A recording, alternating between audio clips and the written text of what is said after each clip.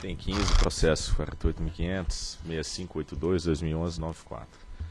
Recurso administrativo interposto pela linha verde transmissora de energia SA em face do AI 68 2013 SFE, que trata da fiscalização das informações prestadas à ANEL na atualização dos cronogramas enviados para o sistema de gestão da transmissão em 2010.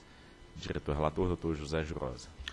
Em 2 de janeiro de 2012, a SFE realizou fiscalização na linha verde transmissora de energia, com o objetivo de verificar a coerência dos cronogramas de execução dos empreendimentos de transmissão enviados mensalmente pela concessionária para o CIGET.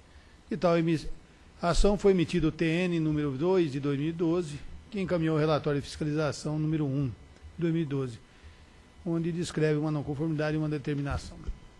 Em setembro de 13, a SFE decidiu pela instalação do processo administrativo punitivo com a base na não conformidade 1 e no não cumprimento da determinação que acarretou a emissão do auto de infração 68-2013, com multa de pouco mais de 500 mil reais, tendo, sendo as infrações enquadradas nos incisos 10 e 16 do artigo 7 da Resolução Normativa 63.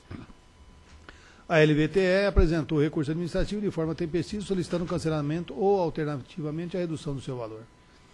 A SFE acatou parcialmente o recurso, reconsiderando sua decisão anterior por meio do despacho 75, sendo a multa reduzida para pouco mais de 330 mil reais. Em sorteio público realizado em fevereiro de 14, foi designado relator do processo. É o relatório. Procuradoria. Procuradoria opina pela presunção de juridicidade da decisão a ser proferida pela diretoria. Primeiramente, cumpre destacar que o recurso merece, merece é, conhecimento por ser tempestivo.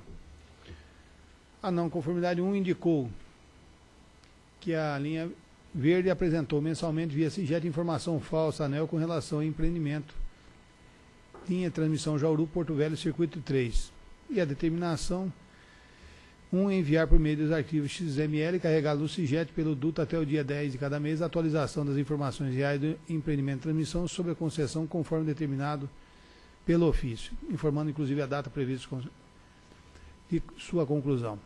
No recurso administrativo, a linha verde requereu o cancelamento da multa ou a redução de seu valor, informando que o simples fato de ter encaminhado via CIGET informações não atualizadas do empreendimento não caracteriza a alegação de gravidade de infração, tampouco o envio de informação falsa e, apesar de não demonstrada, a gravidade da infração foi aplicada exorbitante e que, não, que a não conformidade no envio da informação via CIGET não atualizada não representa tamanha gravidade, tampouco resultou em danos ao serviço e aos usuários, ou representou vantagem oferida pela recorrente que justifique o valor da multa. Entretanto, cabe ressaltar que a SFE apresentou na exposição de motivo para a de infração as razões e considerações para cada critério que compuseram a dosimetria da multa aplicada, conforme estabelecido na Resolução 63. A SFE considerou que, tendo em vista a necessidade de proporcionalidade da gravidade das infrações com relação às infrações de natureza mais grave, reduziu os índices atribuídos à gravidade não conformidade 1 e ao descumprimento da determinação 1 de 15 para 25, respectivamente, e, de, é, decidindo que a penalidade de multa de 330 mil, de acordo com o despacho 75.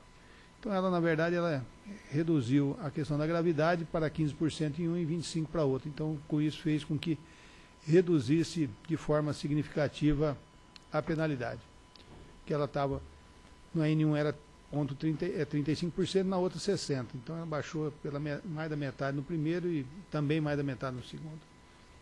Diante do exposto e do que consta do processo, voto por conhecer no mérito acatar parcialmente o recurso da linha verde transmissor de energia, alterando o valor da multa para R$ 330.997,42, mantido o despacho 75 de 14 de janeiro de 14. É o voto. Em discussão. Aqui só uma sugestão, porque na verdade o que você está fazendo é mantendo o juízo de reconsideração, não é isso? Tá. E em votação. Eu voto com o relator. Também acompanho o relator. Também voto com o relator. Vou proclamar já com esse ajuste que o doutor Rosa vai fazer, não é isso? Então, a diretoria decidiu por conhecer e no mérito acatar parcialmente o recurso da linha de verde transmissora de energia SE, SA, LVTE, alterando o valor da multa para R$ 330.997,42, no termo do juízo de reconstrução já exercido pela SFE, no sentido de manter, portanto, o despacho número 75, que é o que exerceu esse juiz, de 14 de 1 de 2014. Próximo